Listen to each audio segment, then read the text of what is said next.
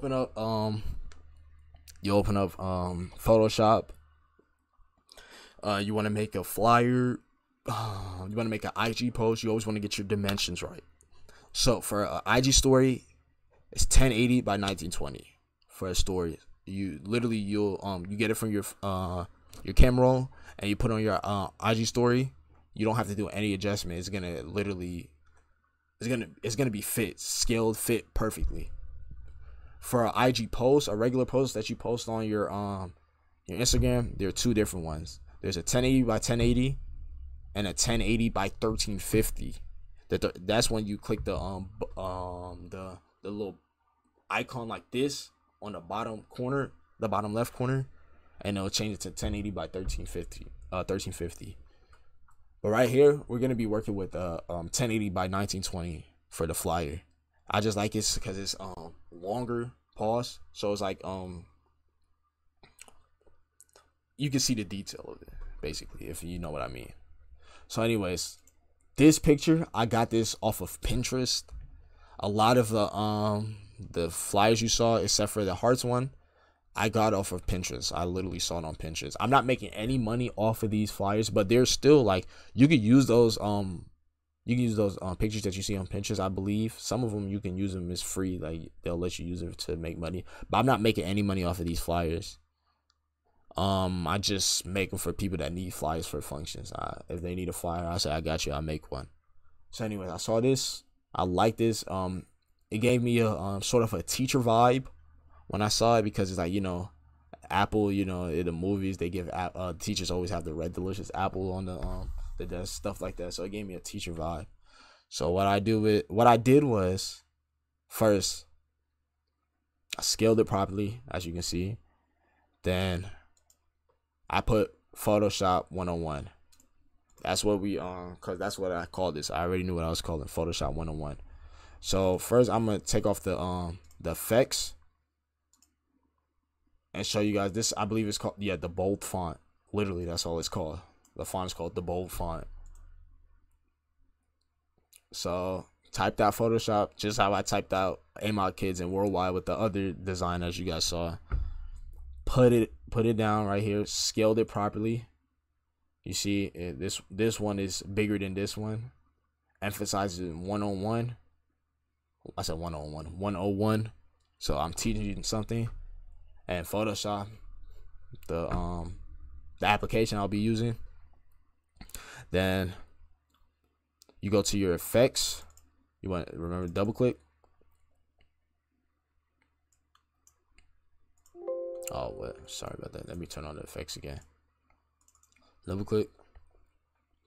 So, um, first on my um my color, I literally um so like the reds aren't off a lot of times what you want to use you want to get the color the um your color overlay which is basically just the color of the um whatever the layer you're choosing.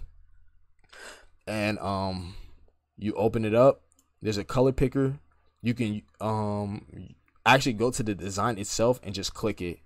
And it'll basically try to match the color for you. As you can see this design is actually shaded. So what you want to do is pick the right spot but I already did. As you can see, it's right there. That was the color, so I'm not gonna change it. I picked the right spot that I liked, and I made it that color. I also put an outer glow on it. I changed the blend mode to screen. So let me show you how. This is how it is without an outer glow. Didn't like that. Wanted to give it more of a um, I more of a cloudy feel. As you can see, the clouds in the back, so I gave it more of a cloudy feel. So I did um gave it an outer glow. Really, usually uh, it's it's glowing in the back. Um, inner shadow, so it gives depth to the the um to the text. The text doesn't just look plain like this. It looks like it's, it gave it depth. So that's that. and then the the bevel and emboss. I'm not really um what's the word educated much about this yet. I still um I use it here and there. Um I like the effect it puts on text the text layers obviously, but it's like I still don't know what I'm doing like a lot of times when I'm using this when I'm in this blending option. I'm just seeing what looks good, seeing what doesn't and everything. So usually, uh, I use a. I think it's uh. I think I'll use. Yeah, yeah. Is it the pillow? Yeah, I'll use the pillow. But size it. See, as you can see, you can size it to give it like a basically a different type of texture, in a sense. You soften it a little bit. You know, just it, like I said, it's just like playing with it. You just play around with the thing. So see how it see how it looks. Let's see. Um, we could we could actually do another one. You see, that doesn't look good with that. That definitely doesn't look good. That's just horrible. No, that one's just horrible. See this bling? You know, if you see rapper merch, a lot of them back in the day we used a bling stuff. It's already right here, pre-made.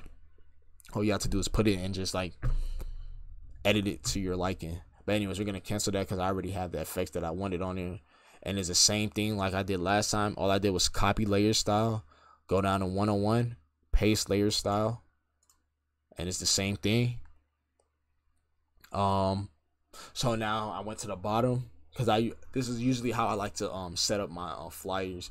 Like to do a little a, a title, uh, um attention grabbing title, and then I go to the bottom, and then I do my um the information basically what they need. I put it I don't put it small, but I don't I put it small, but I don't put it too small so they they don't they don't have to zoom in and, and read it. It's still big enough so even if you have bad vision, you can read it.